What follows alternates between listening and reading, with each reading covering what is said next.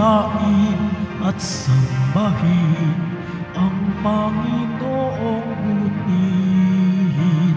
Ialay mga awitin sa piging na handog niya sa atin. Tayo'y magbigay galang sa Diyos na sa di may lalang.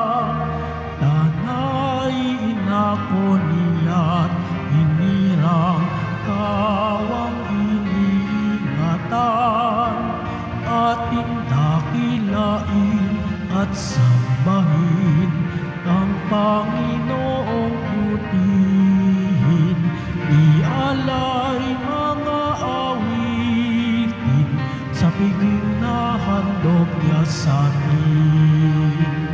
Ialay mga awitin sa piging na handog niya sa atin. Sa ngala ng Ama at ng Anak at ng Espiritu Santo, Amen. ang pagpapala ng ating Panginoong Yeso Kristo, ang pag-ibig ng Diyos Ama, at ang pakipagkaisa ng Espiritu Santo, naway sumainyong lahat. At sumaiyo rin. Mga kapatid, aminin natin ang ating mga kasalanan upang tayo maging marapat gumanap sa banal na pagdiriwang.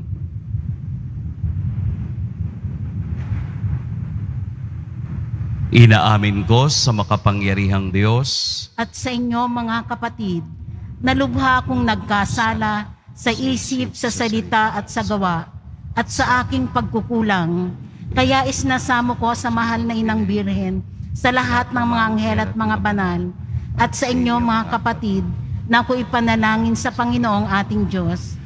Kaawaan tayo ng makapangyarihang Diyos, patawarin tayo sa ating mga kasalanan, at patnubayan tayo sa buhay na walang hanggan. Amen. Panginoon, kaawaan mo kami. Panginoon, kaawaan mo kami. Kristo, kaawaan mo kami. Kristo, kaawaan mo kami. Panginoon, kaawaan mo kami. Panginoon, kaawaan mo kami. Manalangin tayo. Ama naming makapangyarihan, lakas loob ka naming tinatawagan. Sa ngalan mo, Ama naming banal. Sa kalooban namin ay panahanin mong lubos ang iyong espiritong sa amay kumukupkop upang sa lupaing ipinangako kami makapasok sa pamamagitan ni Heso Kristo kasama ng Espiritu Santo magpas sa walang hanggan. Amen. Maupo muna po ang lahat. Pagbasa mula sa aklat ni Josue. Noong mga araw na iyon, sinabi ng Panginoon kay Josue, Sa araw na ito'y padadakilain kita sa paningin ng buong Israel. Sa ganito, makikilala nilang ako'y suma sa iyo, tulad ng ginawa ko kay Moises. Sabihin mo sa mga saserdoteng Levita na magdadala ng kaban ng tipan, na magtuloy na sila sa ilog Hordan. Ngunit, hihinto patuntong nila sa tubig. At tinawag ni Josue ang mga tao, Halik kayo at pakinggan ninyo ang ipinasasabi ng Panginoon ang inyong Diyos. At sinabi niya sa mga tao, Dito ninyo malalaman na suma sa inyo ang Diyos na buhay. Pagdating ninyo roon, lilipolin nila niya ang mga kananeo. Ang kaban ng tipan ng Panginoon, ang Panginoon ng sangkalupaan ay mauunang itatawid ng ilog Hordan. Kapag ang mga saserdoting may dala ng kaban ng tipan ay tumuntong sa tubig, titigil ng pag-agos ang ilog Hordan. Ang tubig ay matitipon sa isang lugar sa hulo. Sa pangunguna ng mga saserdoteng may dala ng kaban ng tipan, umalis ng kam, panad, kam, kampaminto ang bayang Israel upang tumawid sa ilog. Malaki ang tubig ng Hordan sa panahon ng tag-ani. Nang sumapit sa ilog Hordan ang mga saserdoteng may dala ng kaban ng tipan, tumigil ang agos sa hulo at ang tubig ay natipon sa tapat ng bayan ng Adam, lunsod na nasa tabi ng Sartan. Samantala, ang agos na pababa sa dagat na patay sa Araba ay nagpatuloy hanggang sa natuyo ang ilog at natawid ang buong Israel. Malapit sa Jericho ang kanilang tinawiran. Nanatili sa gitna ng natuyong ilog ang mga saserdoteng may dala ng kaban ng tipan. Samantalang Tumawid sa ibayo ang buong bayan. Tuyo ang nilalakaran nila. Ang salita ng Diyos. Salamat sa Diyos. Aleluya! Aleluya! Ang bayang Israel sa bansang Ehipto'y doon inilabas nang ang lahing ito sa bansang dayuhan ay pawang lumikas. Magmula na noon, ang lupaing huday naging dakong banal at yaong Israel ginawa ng Diyos na sariling bayan. Aleluya!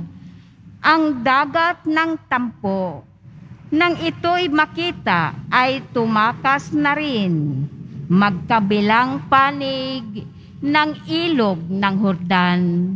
Noon ay humimpil, maging mga bundok, katulad ng tupa, ay pawang nanginig, pati mga burol, nanginig na parang tupang maliliit. Aleluya! Ano ang nangyari at ikaw, o dagat, wala ng daluyan. Ikaw naman, Hordan, bakit ang tubig mo'y hindi na dumadaloy? Kayong mga bundok, nanginginig kayong tupa ang kapara at ang mga burol natakot na parang maliit na tupa. Aleluya! Magsitayo na po ang lahat.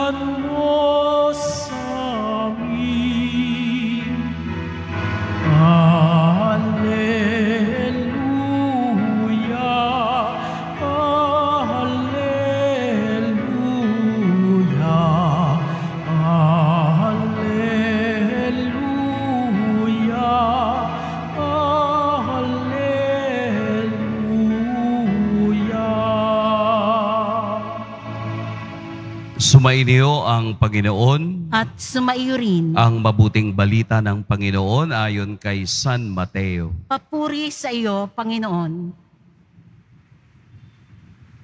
Noong panahong iyon, lumapit si Pedro at nagtanong kay Jesus, Panginoon, makailan kong patatawarin ang aking kapatid na paulit-ulit na nagkakasala sa akin? Makapito po ba? Sinagot siya ni Jesus, Hindi ko sinasabing makapito, kundi pitumpung ulit pa nito. Sapagkat ang paghahari ng Diyos ay katulad nito. Ipinasya ng isang hari na pagbayarin ang kaniyang mga lingkod na may utang sa kaniya. Unang dinala sa kaniyang isang may utang na sampung milyong piso. Dahil sa siya'y walang ibayad, iniutos ng hari na ipagbili niya, ipagbili siya ang kaniyang asawa, mga anak at lahat ng ari-arian upang makabayad. Nanikluhod ang taong ito sa harapan ng hari at nagmakaawa. Bigyan pa ninyo ako ng panahon at babayaran ko sa inyo ang lahat. Naawa sa kaniyang hari kaya't ipinatawad ang kaniyang mga utang at pinayaon siya.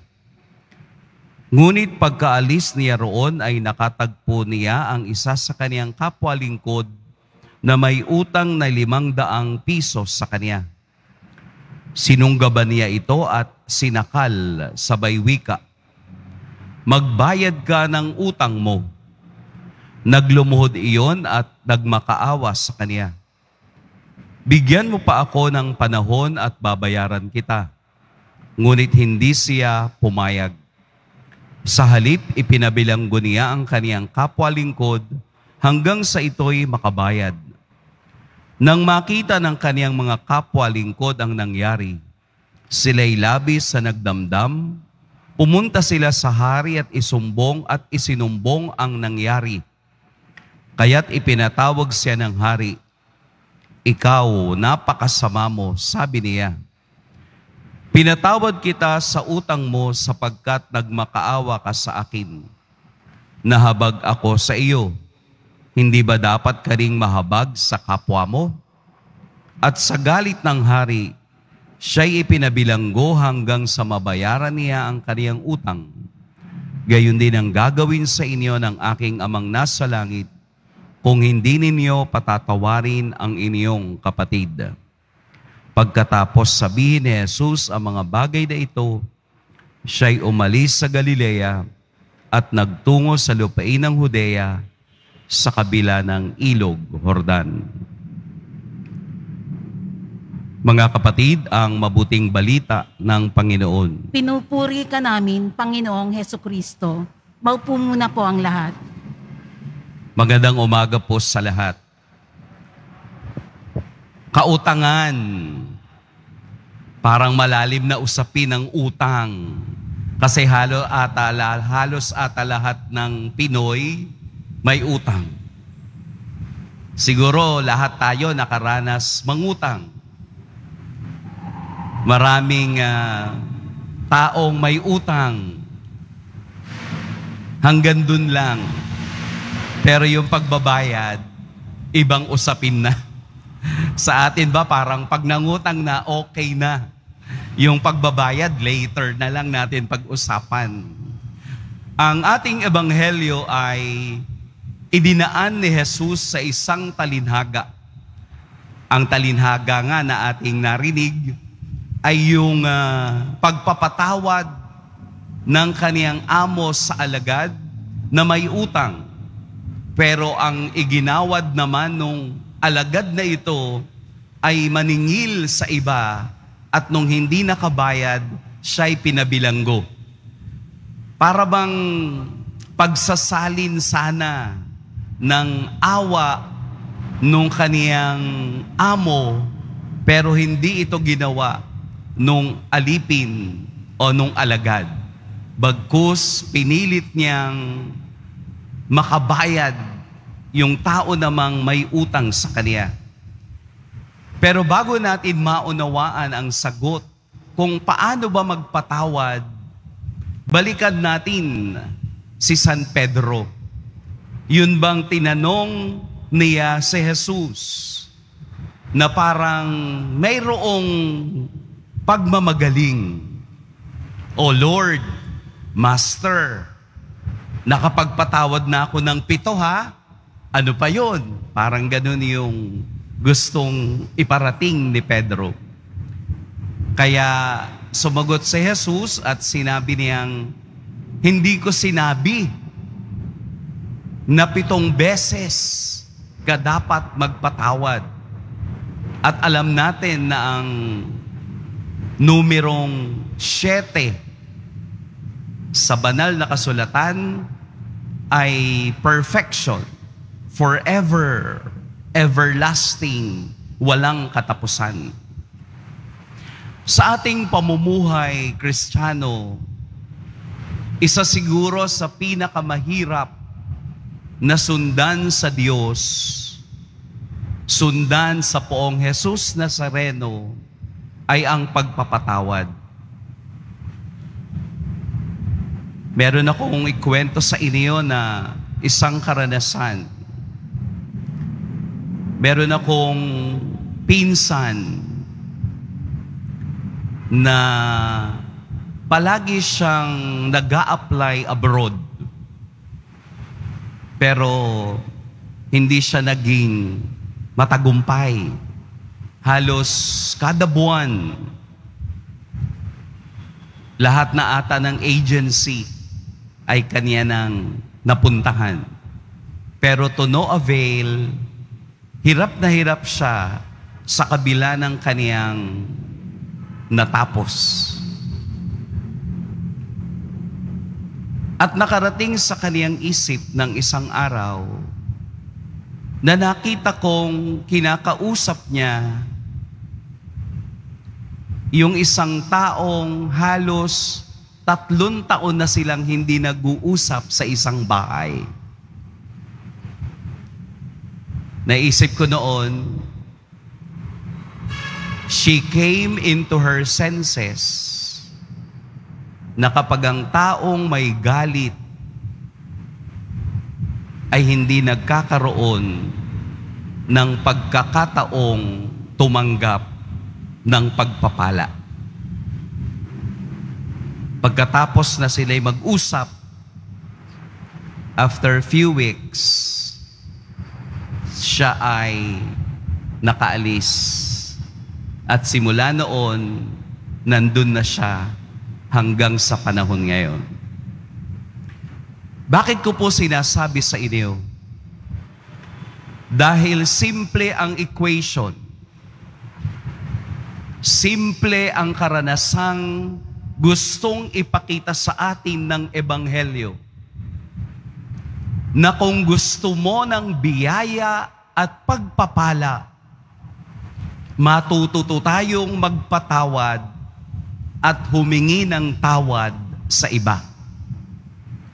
Sapagkat ang pusong may galit at pusong nahahati dahil sa sama ng loob sa iba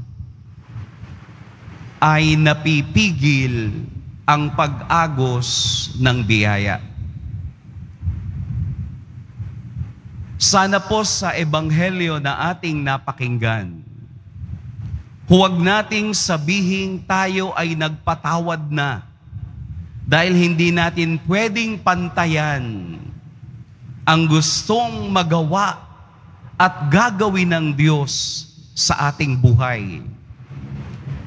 Hindi mo pwedeng ako po ay nagmahal na. Hindi natin mapapagtayan ng Diyos sa kaniyang pagmamahal. Ako po ay nagbigay na. Ako po ay mabait na. Hindi sapat sapagkat ang kauna-unahang naging mabait at mapagmahal at mapagpatawad sa atin ay walang iba kung hindi ang ating poong Jesus Nazareno. Ang Diyos na ang palaging espasyo sa puso ay pagmamahal at pagpapatawad. Alam nating maraming sitwasyong nakagagalit. Maraming pagkakataong ikaw ay sinusubok. Pero ito rin ang pagkakataong maipakitang anumang oras pwede kang magpatawad. Nahirapan nga din ako dun eh sa salitang pagpapatawad kahit alam mong ang kausap mo o ang kaharap mo ay hindi rin marunong magpatawad. Pero ganun pa man, Ito ay pagpapakita na ang tunay na pagsunod sa Diyos, ang tunay na pagsunod kay Jesus ay pagpapatawad 70 times, 7 times. Kaya nga kahapon, doon sa punto na yon, pinatawad ko na agad yung traffic enforcer na nagpahinto sa akin sa may pinaglabanan. Swerving daw ako. Eh, ang daming jeep na paganon-ganon. Eh, natsempuhan ako. Sir, malaki-laki to. Reckless driving. Eh, ano pong gagawin ko, sir? Yung pong lisensya ninyo, maaabala kayo. Dadaling ko po ito sa City Hall. Eh mamimili po kayo. Eh doon sa kaniyang linya, alam mo na kung anong gustong mangyari. Alam mo na na ayaw kanyang maabala, magbigay ka na. At doon ko nakita at nakikita na totoo pala na may kotong. Kasi first time kong naranasan. Then and there, napatawad ko na. Dahil sa ating buhay, may mga taong sisira ng tunay na likas ng pagpapatawad. Marahil sa ating mga karanasan, may kahirapang magpatawad. Pero ito ang kailangan upang tayo'y makatanggap ng pagpapala at biyaya mula sa Diyos ng buhay at pag-ibig. Pagpalain tayo ng poong may kapal. Magsitayo na po ang lahat.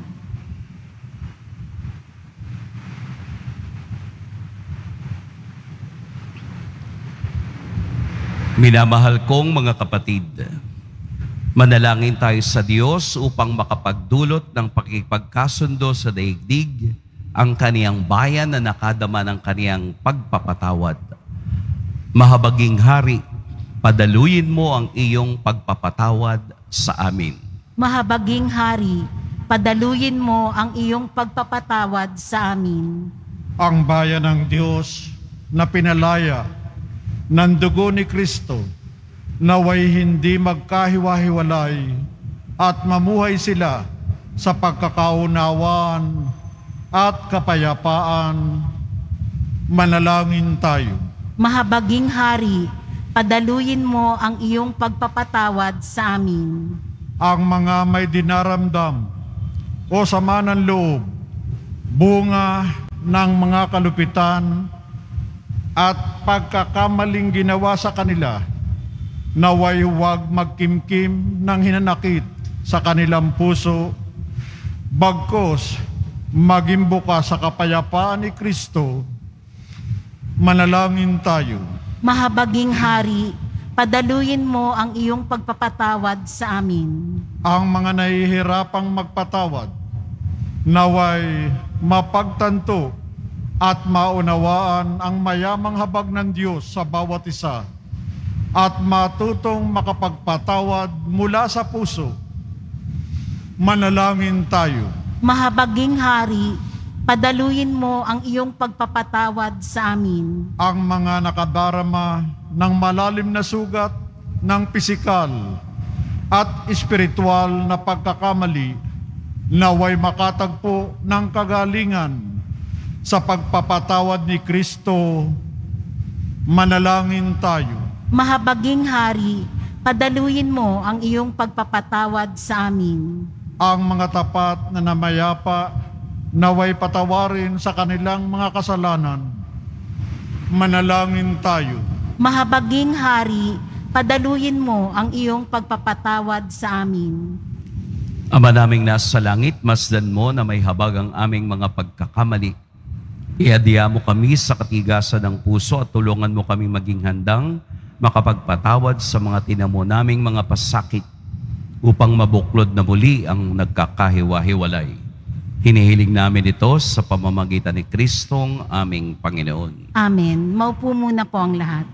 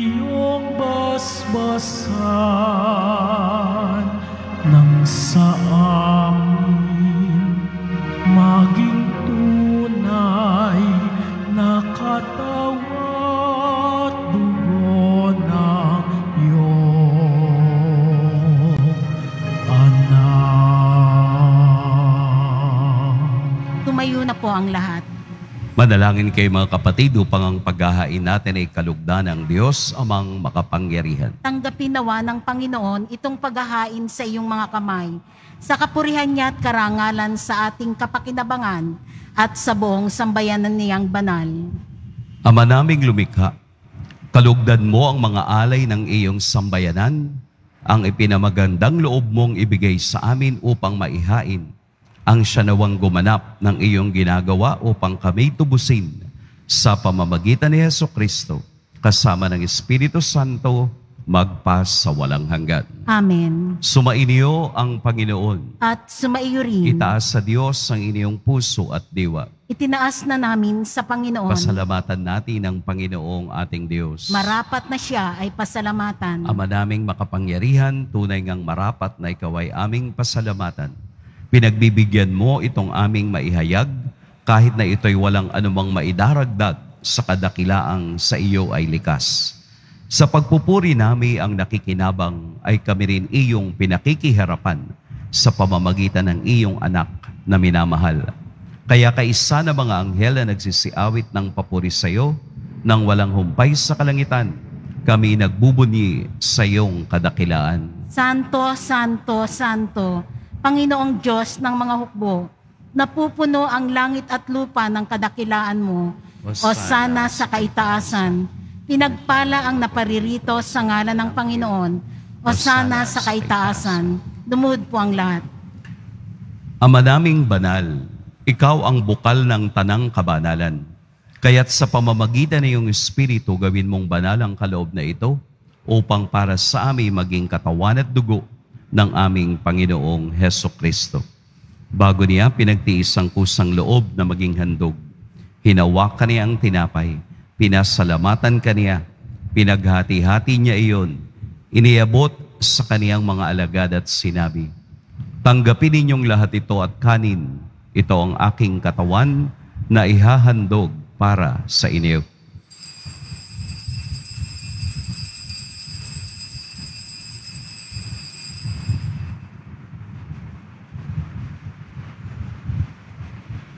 Gayun naman, noong matapos ang hapunan, hinawakan niya ang kalis, muli kaniyang pinasalamatan, inebot niya ang kalis sa kaniyang mga alagad at sinabi, Tanggapin ninyong lahat ito at inumin ito ang kalis ng aking dugo. Nang bago at walang hanggang tipan, ang aking dugo na ibubuhos para sa inyo at para sa lahat, sa ikapagpapatawad ng mga kasalanan. Gawin ninyo ito sa pag-alala sa akin.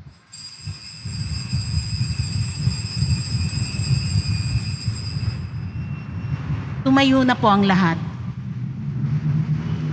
Ipagbunyi natin ang misteryo ng pananampalataya. Si Kristo'y namatay, si Kristo'y nabuhay, si Kristo'y babalik sa wakas ng panahon.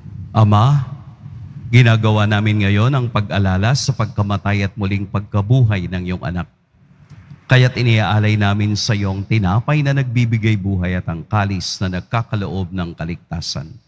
Kami nagpapasalamat dahil kami iyong minarapat na tumayo sa harap mo para maglingkod sa iyo. Isinasamo namin kaming magsasalo-salo sa katawan at dugo ni Kristo ay mabuklod sa pagkakaisa sa pamamagitan ng Espiritu Santo. Ama, lingapin mo ang iyong simbahang laganap sa buong daigdig. Puspusin mo kami sa pag-ibig kaysa ni Francisco na aming Papa at ni Jose na aming Obispo at ng Tanang Kaparian. Alalahanin mo rin ang mga kapatid naming nahimlay nang may pag-asang sila'y muling mabubuhay, gayon din ang lahat ng mga pumanaw. Kaawaan mo sila at patuloyin sa iyong kaliwanagan. Kaawaan mo at pagindapating kaming lahat na makasalo sa iyong buhay na walang wakas.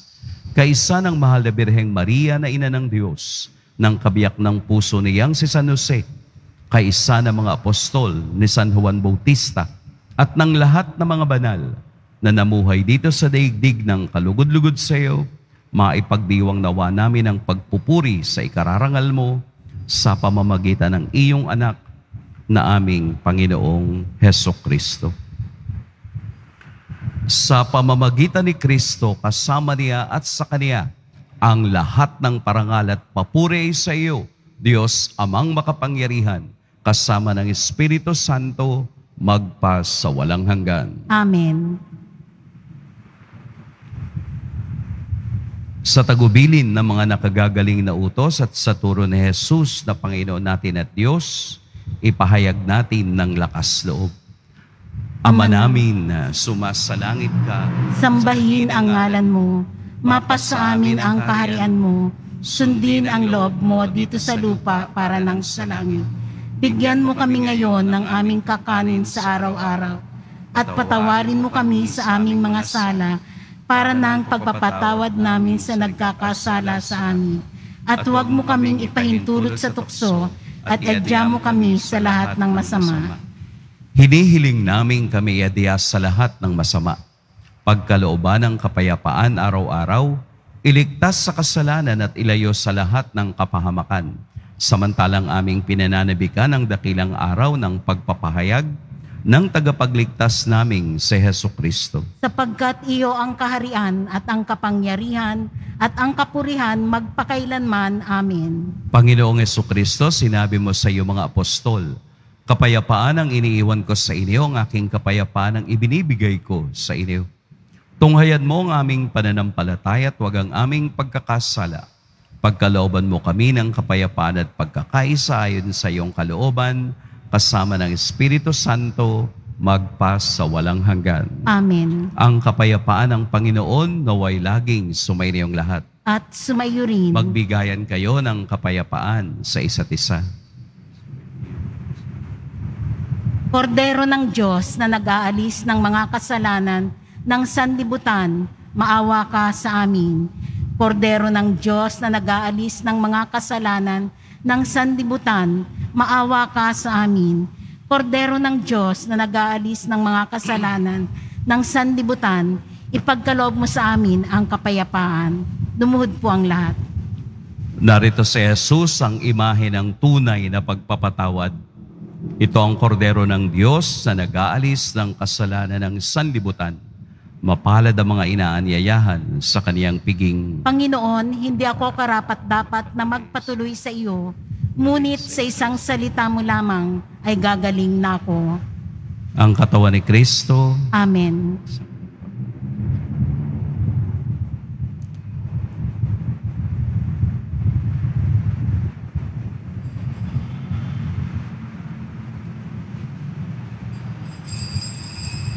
Para sa lahat ng tatanggap ng banal na komunyon, sasagot po tayo ng amen pagkasabi ng pari o ng lay minister ng katawan ni Kristo at isubo agad sa bibig bago umalis sa harapan ng pari o lay minister. Sumunod po tayo. Maraming salamat po.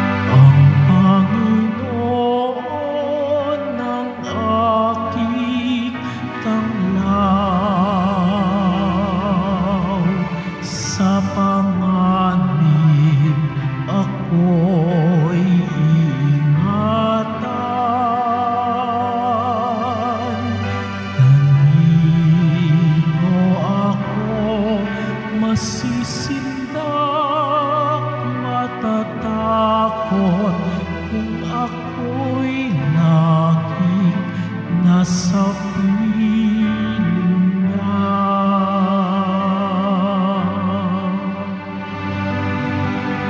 Pagkatapos ng misa, wiwisikan po ang lahat ng banal na tubig. Pinakikiusapan ang lahat na manatili lamang muna sa inyong mga lugar. Tanging sa Quezon Boulevard o sa Plaza San Juan lamang ang labasan ng lahat. Sumunod po tayo. Maraming salamat po sa inyong pagdalaw at pagsisimba sa Basilica Menor at Pambansang Dambana ni Jesus Nazareno.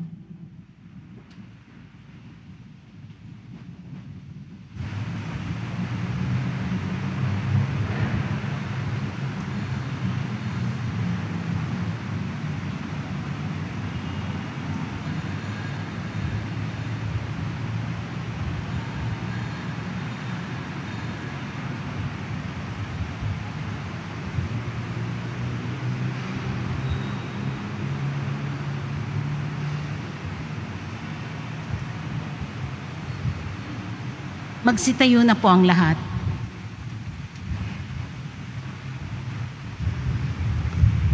Manalangin tayo.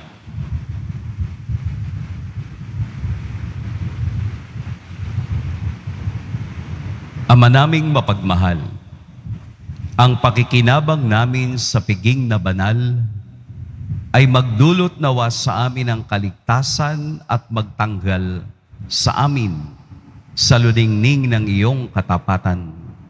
Sa pamamagitan ni Yeso Kristo, kasama ng Espiritu Santo, magpa sa walang hanggan. Amen. Sumainiyo ang Panginoon. At sumaiyo rin. Imuko kayo para sa pagbabasbas. Mahal na pong Jesus Nazareno, inihayag mo sa pamamagitan ng krus ang walang maliw na pag-ibig ng Diyos sa sangkatauhan.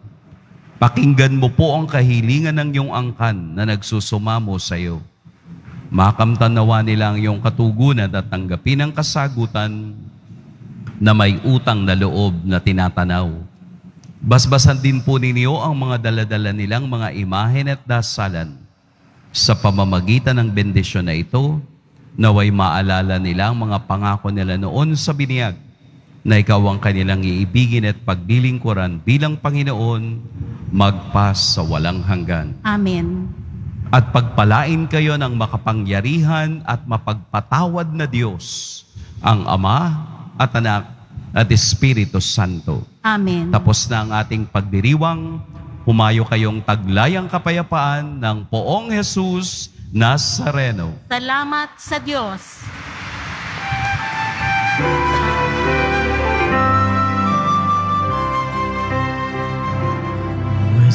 Padre Jesús Nazareno, sinasamba